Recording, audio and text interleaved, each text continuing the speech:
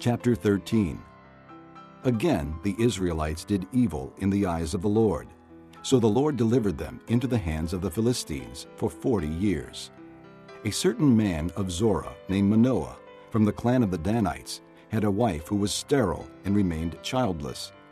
The angel of the Lord appeared to her and said, You are sterile and childless, but you are going to conceive and have a son. Now see to it that you drink no wine or other fermented drink, and that you do not eat anything unclean, because you will conceive and give birth to a son. No razor may be used on his head, because the boy is to be a Nazirite, set apart to God from birth, and he will begin the deliverance of Israel from the hands of the Philistines. Then the woman went to her husband and told him, A man of God came to me. He looked like an angel of God, very awesome. I didn't ask him where he came from, and he didn't tell me his name, but he said to me, You will conceive and give birth to a son. Now then, drink no wine or other fermented drink, and do not eat anything unclean, because the boy will be a Nazirite of God from birth until the day of his death. Then Manoah prayed to the Lord, O Lord, I beg you, let the man of God you sent to us come again to teach us how to bring up the boy who is to be born. God heard Manoah, and the angel of God came again to the woman while she was out in the field. But her husband Manoah was not with her. The woman hurried to tell her husband. He's here, the man who appeared to me the other day. Manoah got up and followed his wife. When he came to the man, he said, Are you the one who talked to my wife? I am. He said. So Manoah asked him, When your words are fulfilled, what is to be the rule for the boy's life and work? The angel of the Lord answered, Your wife must do all that I have told her.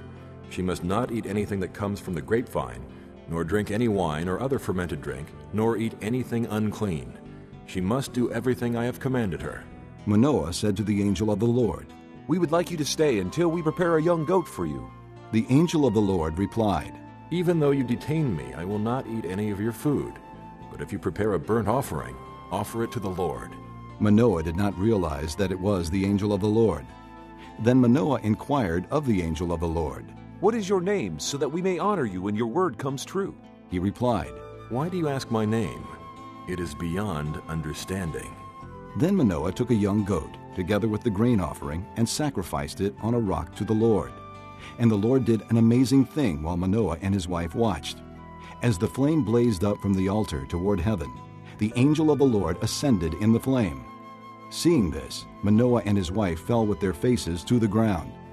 When the angel of the Lord did not show himself again to Manoah and his wife, Manoah realized that it was the angel of the Lord. We are doomed to die, He said to his wife. We have seen God. But his wife answered, If the Lord had meant to kill us, he would not have accepted a burnt offering and grain offering from our hands, nor shown us all these things, or now told us this. The woman gave birth to a boy and named him Samson. He grew, and the Lord blessed him. And the Spirit of the Lord began to stir him while he was in Mahaneh Dan, between Zorah and Eshtaol.